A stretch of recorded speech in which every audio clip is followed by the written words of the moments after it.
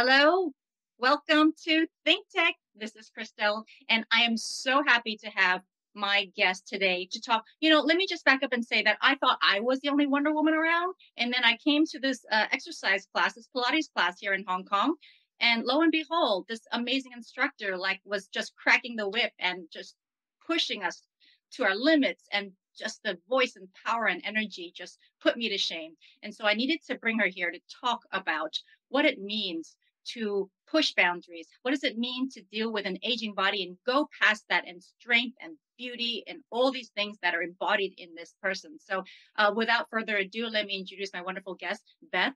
Beth Narain, welcome to our show. Thank you. Thank you for having me. It's so nice. So, Beth, I know I'm going to let you talk out your background, but just to give our audience at Think Tech a little gist of who you are, um, you're originally from South Africa and you had won a scholarship to go to the Royal Ballet in London. And yeah. then you were also uh, was a choreo. You know, I'm going to let you tell us about how you got to Hong Kong, but just to tell people that you were the you know, you were a choreographer for dances here in a TV station here called TVB in Hong Kong, and you were Hong Kong's first lady DJ. Amazing at the Peninsula Hotel, iconic, iconic. And you were the first. Um, you created the first woman's exercise studio here in Hong Kong. So that's just like a couple of your groundbreaking um, moments as a female, especially an expat female at the time in this post-colonial city. So let's talk about this. How did you end up in Hong Kong? Um, so when you grew up in South Africa, you trained in ballet, obviously, and tell us where it took you and how it took well, you out of. I started training at the age of uh, five years old, and then continued in in South Africa with my ballet, and then we emigrated to London, and that's when I managed to get into the senior Royal Ballet School in London, and um, got a bursary to continue there. After that, I danced in Europe, in France, and then in Italy. And I had an older brother living in Hong Kong. He'd been living in Hong Kong for many years. Um, he was actually the brains behind the uh, rugby sevens in Hong oh. Kong. He started it, yeah. Wow. So I was in between contracts, and he said, "Oh, I'll buy you a ticket to Hong Kong. Come for a couple of months, and you know, see if you like it."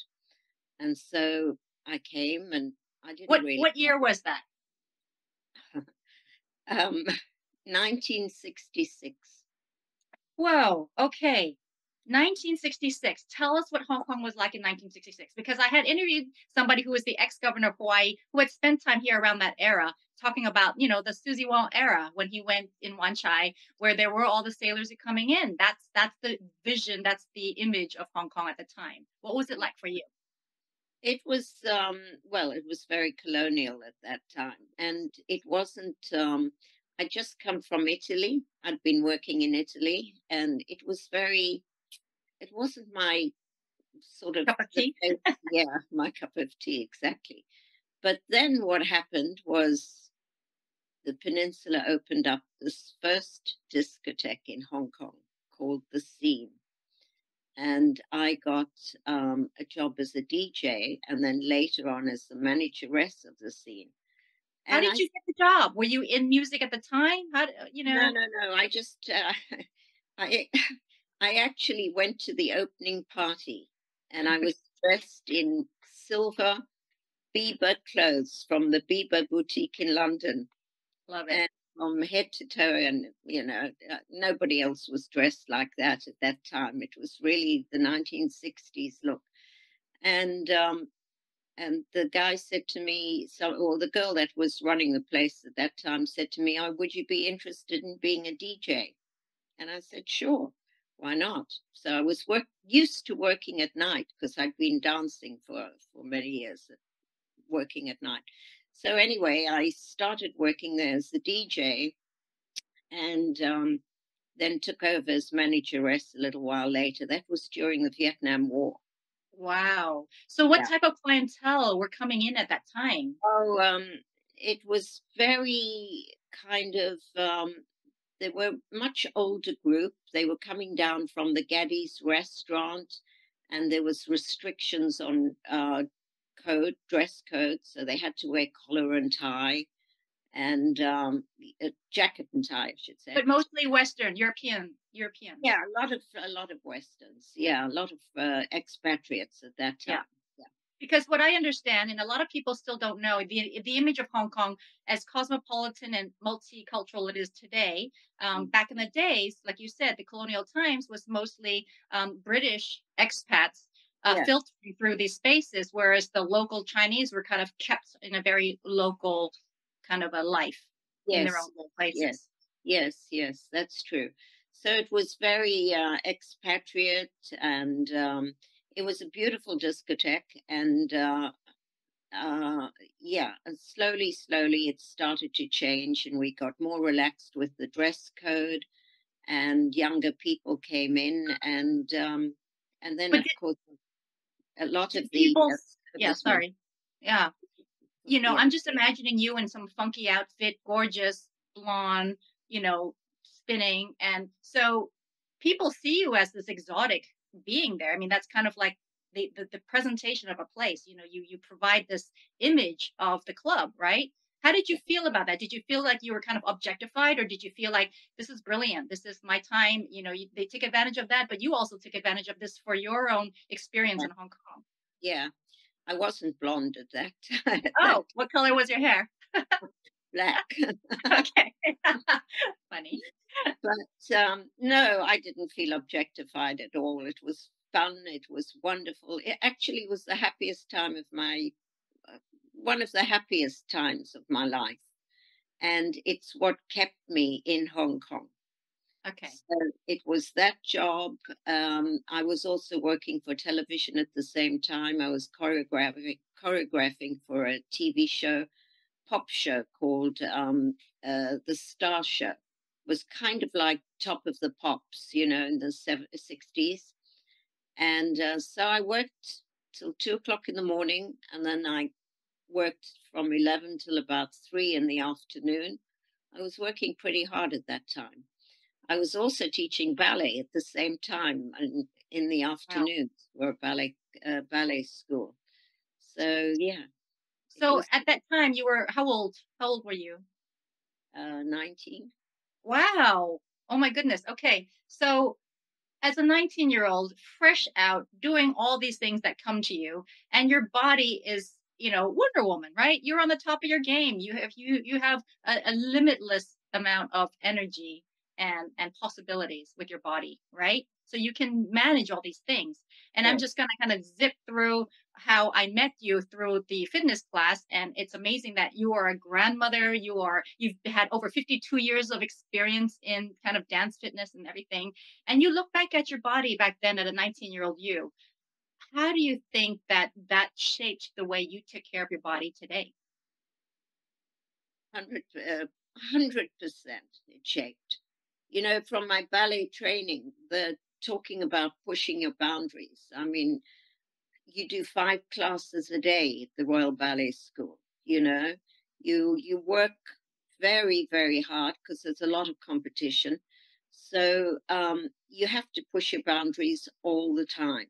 There's no hanging back or I feel tired or maybe I've got hmm, my period or I can't do my class today or any of that kind of thing.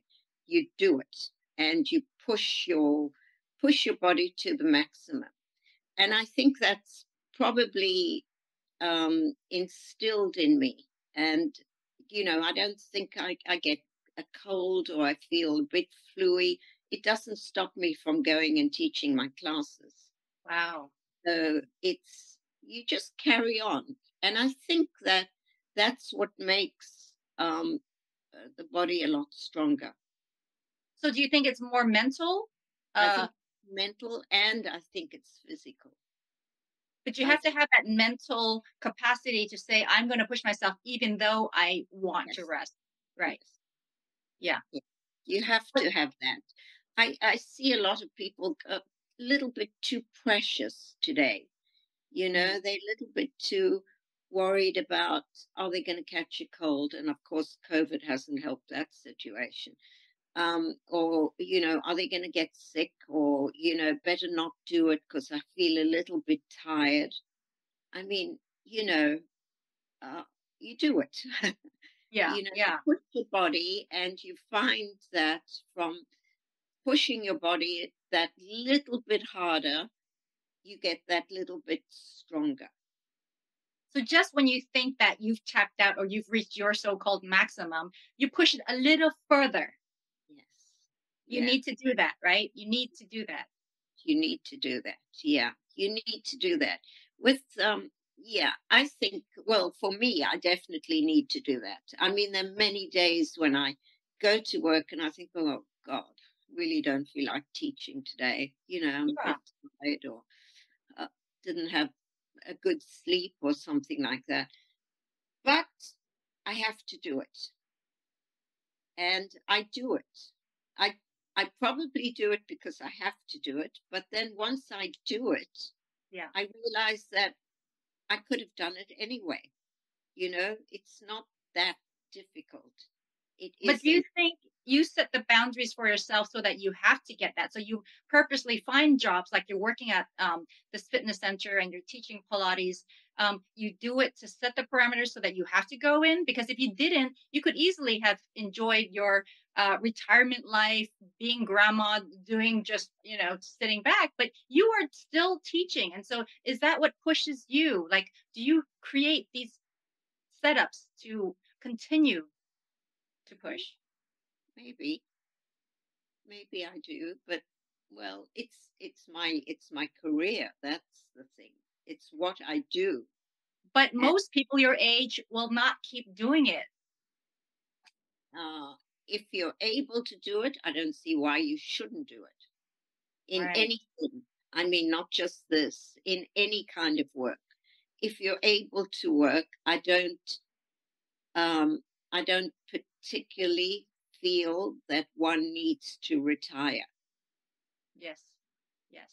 No, exactly. But again, how did you develop that sense of um, inner strength? Is it, did you ever have some life changing experience that made you feel like you really need to kind of stay on track in a certain way? Or have you been, have you ever gotten off track where you realize that that's not the way to go in order to kind of full, fully kind of um, commit to the the ways you strengthen your body. You had surely you were a reckless young woman at some point and doing things that were not necessarily good for your body. sure. Yeah, I used to, you know, go out at night, stay out till three o'clock in the morning, Yeah, and then get up clubbing. teach a nine o'clock class. You know, Yeah, was the hangover. I did yeah, that many times. Yeah. Um, but uh, yeah, I mean, I also was sick one time in in Thailand. I I actually had um, a blood clot, oh, and um, and I was in hospital, and um, I I had to stay in the hospital for about ten days while they dissolved this blood clot. And there was this woman uh, sharing the room with me. I never forget. She could hardly. Well, she was paralyzed from the same thing. Blood clot went to the brain, and she was completely well. She was paralyzed. All she could do was slap her leg in order to get her daughter's attention, who was staying in the room with her. Anyway, this woman was taken in a wheelchair um, every day down to physio to, to do her exercise. And she would pass me as I was lying in the bed, and she was so excited to be going down to do her physio exercises. You know, her face Yeah, was beaming and she was like smiling. And her daughter would say to me, She's so happy she's going down to do her physio. And um, and I thought, oh my God, you know, here I can do this every day of my life. I can work out. And I thought, how many, how grateful we should be to be able to um, to really exercise and to use our bodies every day. yeah, And you know, why think about, oh, I'm tired today, I don't feel like doing anything, or oh, I, I've got a headache. I don't think I'll go to class. Or, you Yeah. know, you can. You Yeah. can push yourself. And Right. you, you need to you need to really be grateful that you can move your body. It's true. And even my 18 year old son reminds me that movement is medicine. Sometimes Yeah. I say I'm tired. He says, Mom, movement is medicine. It's like, yeah, you're right. You're right. So, uh, can I talk about that? Let's talk about movement because, again, going back to your class, and I hope that we can share that one little clip that I managed to steal of you um, teaching. But that was a Pilates class, that was a barre class. But in your cardio Pilates class, which I had, wish I had a clip, um, you were doing these routines where we had to not just do the movement, but we had to use our brains because you had these choreographic ways to navigate the ball between the left arm and the right leg. And, you know, so it's not just exercise. There's more to it. You know, we have to follow and you're strict. You're telling people, listen to the beat. You know, you're cracking that whip. And and some people are tone deaf. So I'm like, okay, well, that's that's hard on them. But you are just um hardcore. I, I've never had a trainer like you who um takes the time to tweak people and to make comments that might just make a huge difference on the way they feel that muscle. Yeah.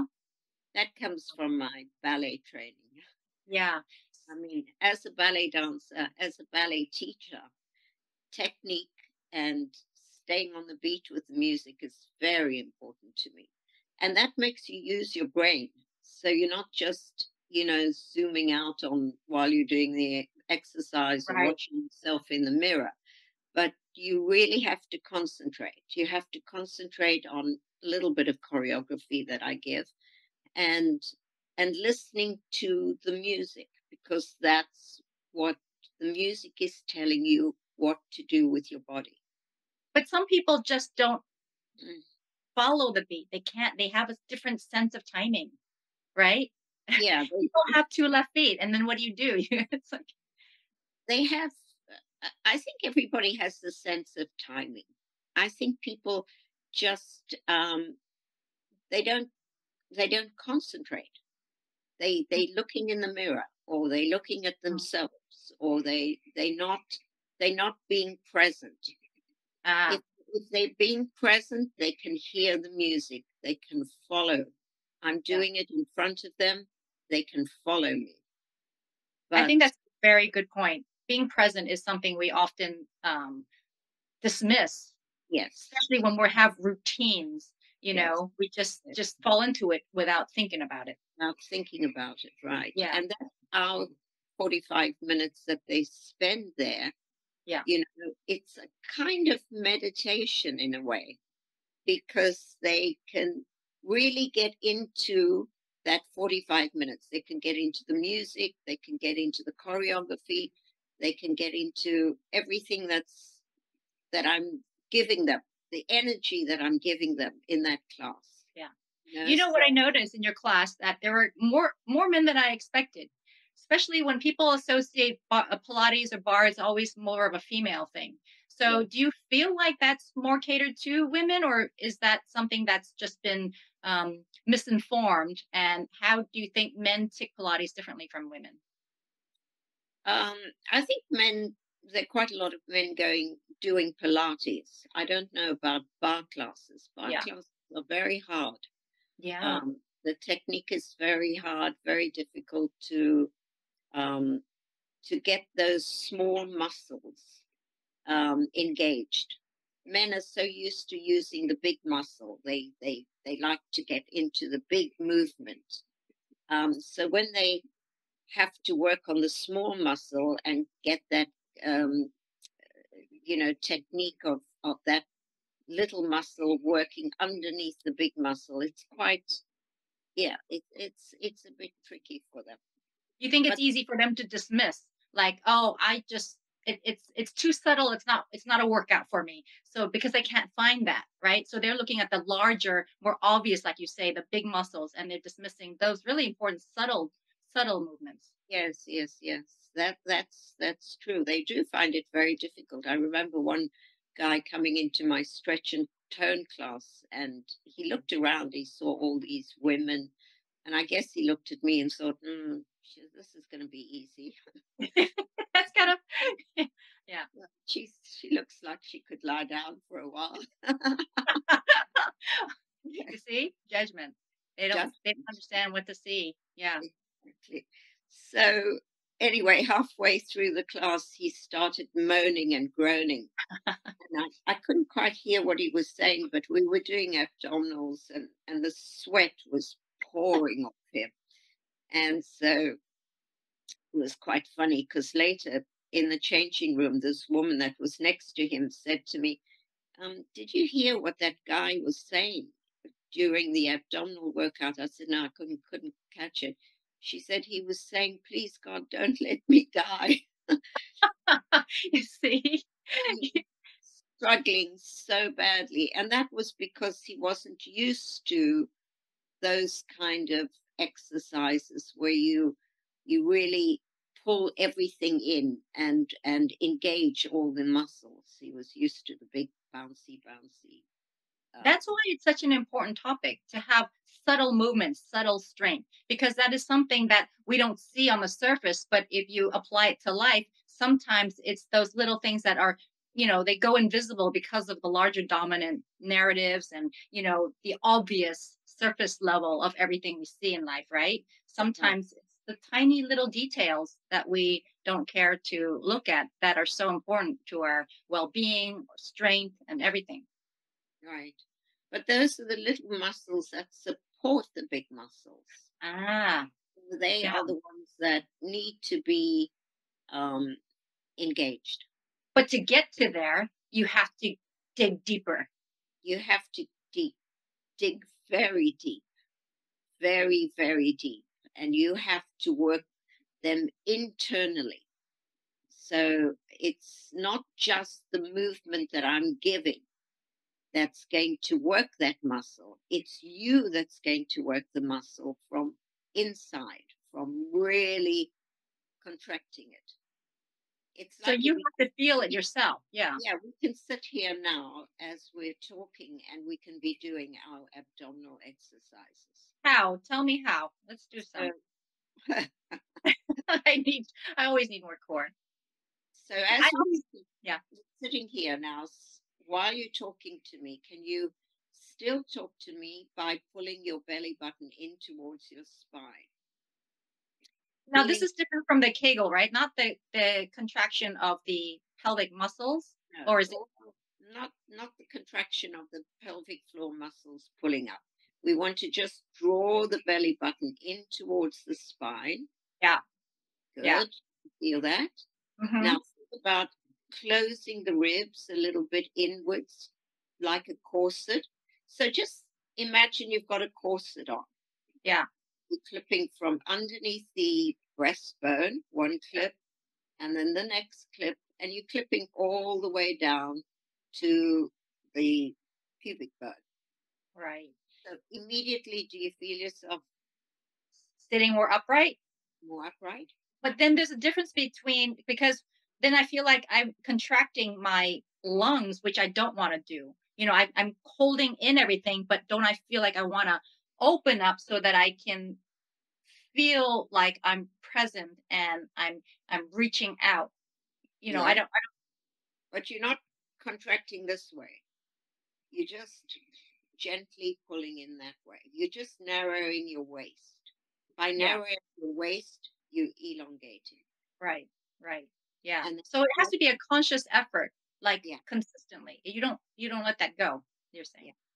Yeah. yeah I used to I used to say to people when they walk uh, clients when they're walking down the street, just to feel as though they're pulling their their flesh away from their clothes. Yeah.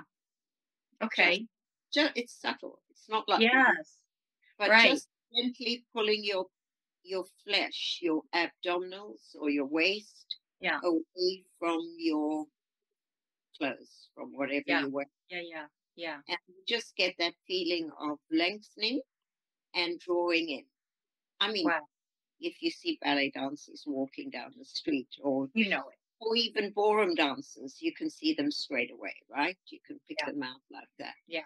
Yeah. So they have that feeling of pulling up. Kind of, yeah, holding up, hold, holding it in from from inside, from deep inside, right? And you know that. So, um, to give you know to wrap up our show is what are some tips you can give obviously to people who you know and some people are not as fortunate to have um, mobile bodies they have issues health issues that hinder movement. So what are you know it, it's again it's the psychological aspect of it too but what are some tips you have going forward to to deal with our aging bodies whatever level we have I yeah, I think they should do whatever they can. Tai Chi um, is very good for aging bodies.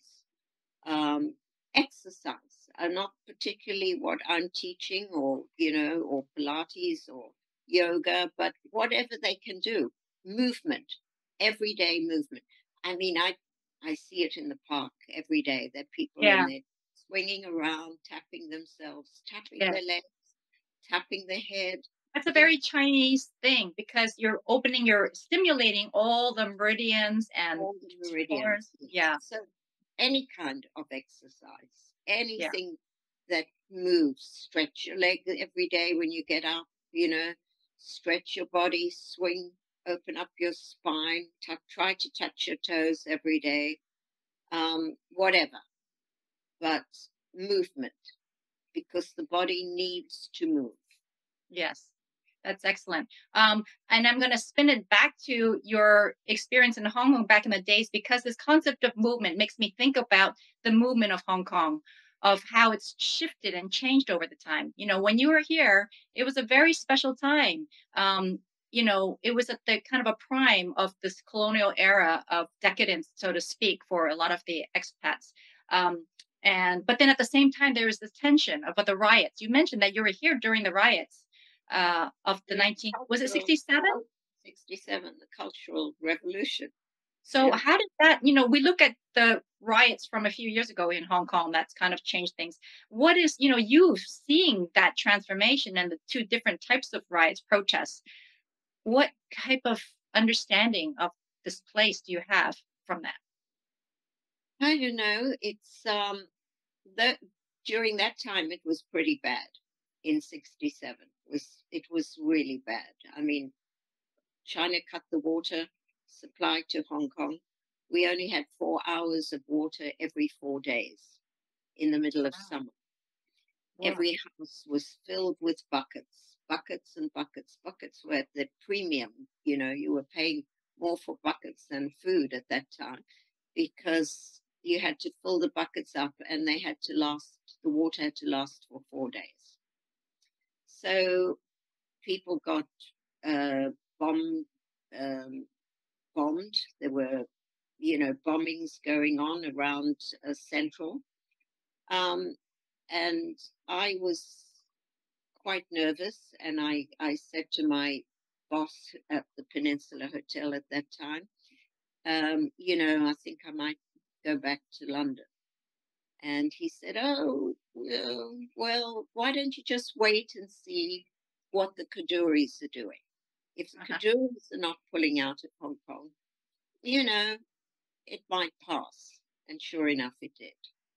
So indeed things, you know, Hong Kong definitely has a way of bouncing back. yes the resilience is really really amazing. Yeah. I think it's going to take a little longer this time, maybe a couple of years. I don't know. But um, I think it will. I think it will bounce back. I think things will be okay. You know, I've seen it go through tremendous dips, the financial exactly crisis. Um, yeah.